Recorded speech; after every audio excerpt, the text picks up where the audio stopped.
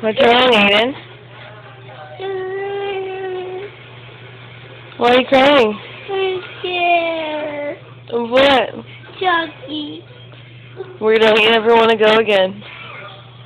Dakota. Why? Because I'm really scared of Chucky. Dakota doesn't have a Chucky, Oh, yeah, well, she has dolls.